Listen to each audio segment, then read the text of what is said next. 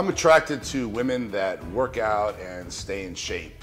And um, ever since I was a kid, I've been in the gym working out. And so I have to admit, I've actually am quite shallow of a person, which is not a good thing. But I am definitely into being with someone that visually, you know, is um, looks great. Um, and I would have a problem being with someone who didn't stay in shape and didn't take care of their body. Um, when you know the truth of the matter is, is what really matters is what's inside the person because you know eventually that outside is going to wear off. But I haven't learned that lesson yet, so I'm still quite shallow.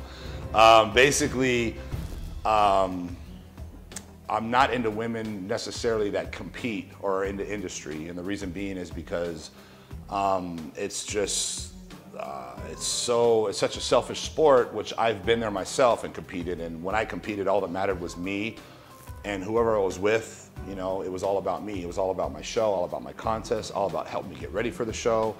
And I don't want to be on the other side of that coin and be the one that's helping someone get ready for a show and you know talking about the show 24 hours a day. You know, it's just consuming. Uh, you know, I'm I'm dating a. Um, IFBB Pro Bikini competitor as of right now, and it's the first time I ever dated someone who was in the industry. Um, so you know, it's it's. Uh, but normally, I, I don't I don't I'm not attracted to those types of girls. Just girls that work out and take care of themselves, and also you know. Uh, the personality is very important. You know, to be able to sit and actually have a conversation, which is for me is hard to find. You know, I'm there's basically three kinds of uh, people. There's people that talk about people, people that talk about things and people that talk about ideas.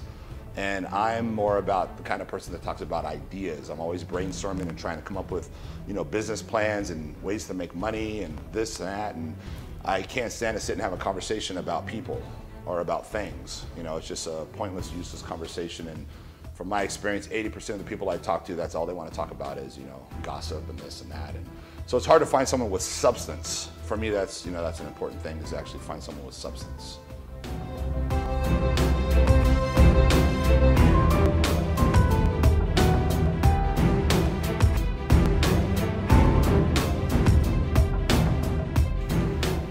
My mom was a competitive bodybuilder, and um, I was going to the gym when I was like five or six years old, um, just watching, observing, and uh, seeing what was going on. And uh, at the time, the He-Man dolls were out, you know, little He-Man muscle dolls, and I had every one of them, and I loved them. And I was just obsessively, just couldn't believe the muscles on these guys. And so, as a kid, when I was uh, brought into the gym with my mom, I actually saw these these huge guys in person.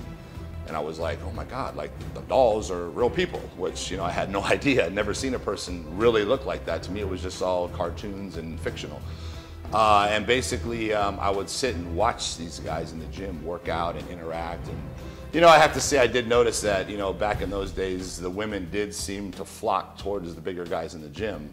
And, you know, as a kid, I happened to notice that. so, uh, so I have to say, yeah, I mean, that probably is uh, part of the reason why I got involved in it. But once I became competitive and I really was involved, it had nothing to do with women.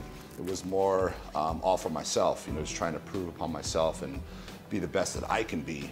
And um, the truth of the matter is, is, you know, most women, you know, you take as a whole, you know, don't necessarily um, like huge, massive bodybuilders. You know, they're more into the men's physique or, you know, Brad Pitt or, you know, more just a leaner, uh, athletic body. So when you get to the stage that I'm at, you know, 280 pounds, 290 pounds, uh, you know, the general public doesn't isn't really necessarily attracted to that.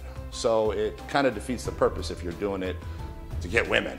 You know, you're that's not going to work. you need to be about 200 pounds and be shredded, and you're going to have better, uh, you know, better better possibilities. But um, basically, um, you know, you have the the people that are into bodybuilding and that are into the sport um, in the industry that basically, you know, obviously like muscles, so they're gonna go for the bigger guy and you know the more ripped guy and you know the guy that is doing the best, looks the best. So you have kind of that group. For sure. What's your name? Kim. Kim, Rich. Nice to meet you. All right. How you doing? Big bicep over there? All right, let's do that. I'm gonna flex over here. Oh, he's over here, huh? Uh, the answer to that is yes. I get misjudged all the time. Uh, my size, my mass, my tattoos. You know, people assume I'm this, and the truth of the matter is, let it be known.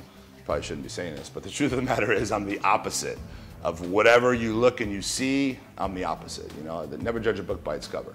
But I've always seemed to attract the wrong kind of women, and that's because of visually they see me and they assume I'm, you know, this edgy, you know, asshole or, you know, someone who is gonna pull their hair and slap them around in the bedroom. And I'm actually the opposite. I'm more of a, you know, affectionate and cuddle and, you know, a good guy, so to speak. And uh, so definitely this physique is, and my tattoos and everything about me definitely attracts the wrong kind of people.